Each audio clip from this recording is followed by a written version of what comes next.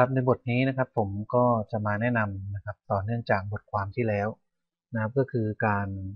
สร้างข้อสอบนะครับจากเว็บไซต์ proready.com นะครับ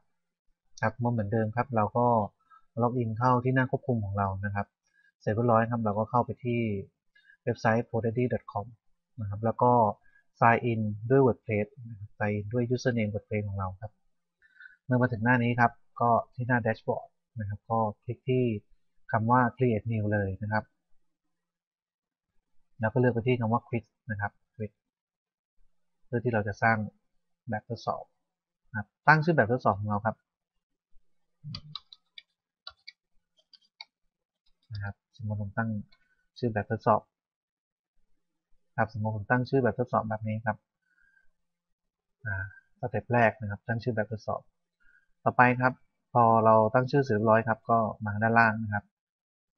ที่คำว่า save setting นะครับครับก็จะเข้ามาสู่หน้าสร้างข้อสอบของเรานะครับ ในการสร้างแบบทดสอบผมในที่นี้ครับ ก็จะพาทำแบบขั้นพื้นฐานก่อนแล้วกันนะครับ ถ้าเราต้องการที่จะสร้างแบบทดสอบนะครับ ก็คลิกนะครับ คลิกเลือกรูปแบบของ คำถามนะครับ ซึ่งในที่นี้ครับผมคลิกเลือกแบบมันมัน multi ch multi choice นะครับ multiple choice นะครับก็เสร็จแล้วครับ step ที่1ครับเราก็สร้างข้อสอบข้อแรกของเราขึ้นมาเลยครับ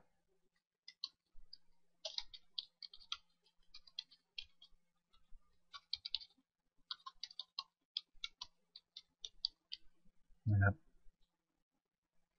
อันนี้คือ ชื่อคำถามข้อแรกของผมนะครับ ซึ่งในคำถามเนี่ยเราสามารถที่จะใส่สื่ออื่นได้นะครับเราก็คลิกปุ่มเพิ่มสื่อตรงนี้นะครับ ในช้อยก็เหมือนกันครับ สามารถเพิ่มสื่อได้ อันนี้เราก็มาสร้างช้อยของเราครับผมก็ใส่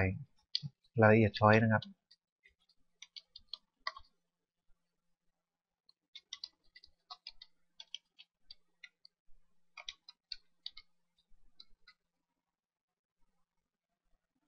แล้วเสร็จแล้วนะครับ ถ้าเราต้องการให้ช้อยเรามีกี่ตัวเลือกนะครับ ถ้ามันกำหนดให้ยังไม่พอแล้วครับเราก็คลิก add นะครับ add new option ตรงนี้นะค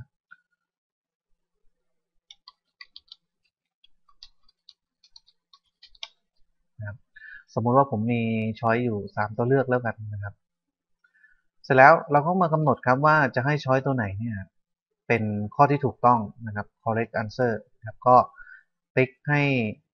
ตรง เ g o นะครับ ให้จุดสีดำมาอยู่ตรงนี้ สมมติว่าผมข้อนี้ครับเป็นข้อที่ถูกผมก็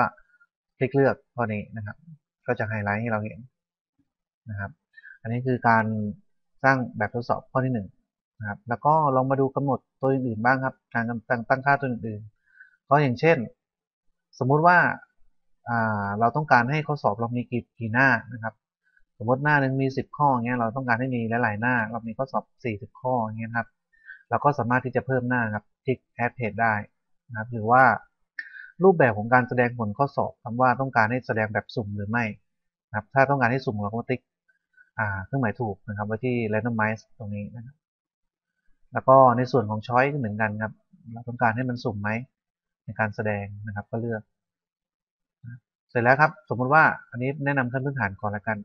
สมมติเสร็จเรียบร้อยแล้วนะครับ ก็ก็คลิกดันเลยครับ นะครับเราก็จะได้คำถามข้อที่หนึ่งของเราขึ้นมา ถ้าต้องการกลับไปแก้ไขก็คลิกที่ edit นะครับ แล้วก็ถ้าจะสร้างข้อต่อไปก็ copy นะครับ หรือถ้าต้องการไม่ต้องการใช้ข้อสอบคนนี้ก็ delete นะวันนี้คือการสร้างคำถามเบื้องต้นนะครับ สมมุติว่าผมผมสร้างแบบเบื้องต้นข้อเดียวก่อนแล้วกันนะครับ จากนั้นครับผมก็คลิกที่คำว่า save question เลยนะครับ save question นะครับ ต่อไปก็จะเป็นการเลือกรูปแบบ นะครับ รูปแบบของข้อสอบเราว่าจะให้มีลักษณะรูปร่างหน้าตายังไงนะครับ สมมติว่าเลือกแบบโน้ตแพดแล้วกันนะครับ เลือกแบบนี้นะครับเมื่อเราเลือกได้เราก็ save เลยครับ save style setting ครับก็จะเข้ามาสู่ตรงหน้านี้แล้วครับใกล้เสร็จเรียบร้อยแล้วครับ ถึงตรงนี้ก็คือรูปแบบของการเลือกว่าเราต้องการจะ เอา URL ของ p o d a d y เนี่ยไปใช้ในลักษณะไหนนะครับเราจะไปสร้างเป็นแบบลิงก์เลยก็ได้ก็ copy ลิงก์ตัวนี้ไปนะครับ หรือว่าจะไปสร้างแบบเว็บ pop up ขึ้นมานะครับ หรือว่าเอาไปฝังไว้ไปฝังไว้ในหน้าใดหน้าหนึ่งนะครับ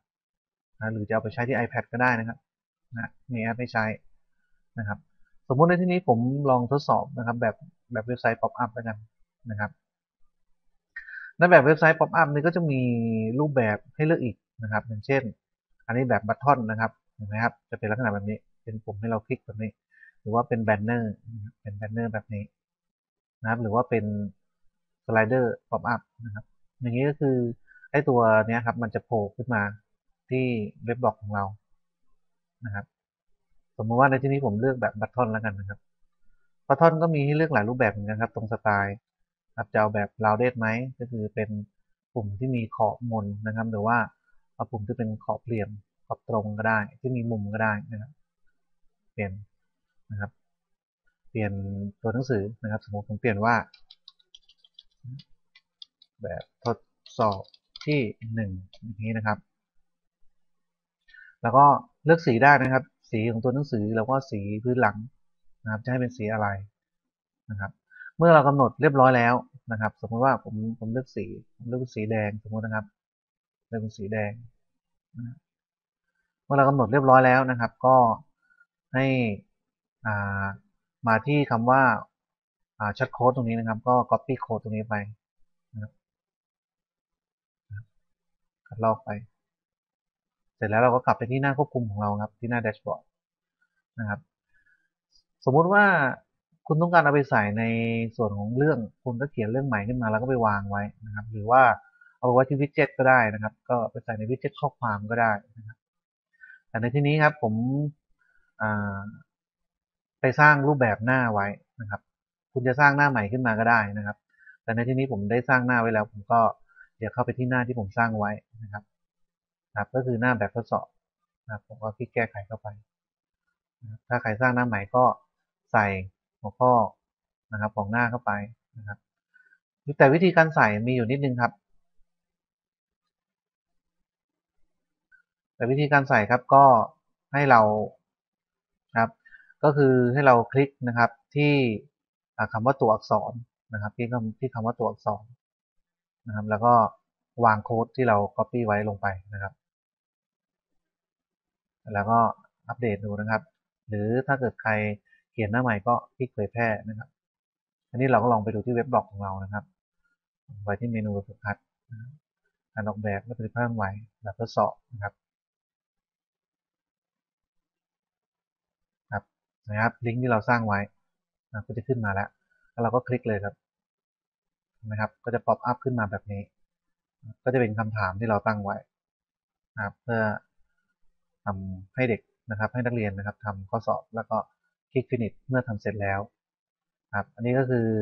รูปแบบนะครับของการทำแบบทดสอบนะครับที่เว็บไซต์ p r o r e a d y c o m ก็หวังว่าจะเป็นประโยชน์กับทุกท่านครับ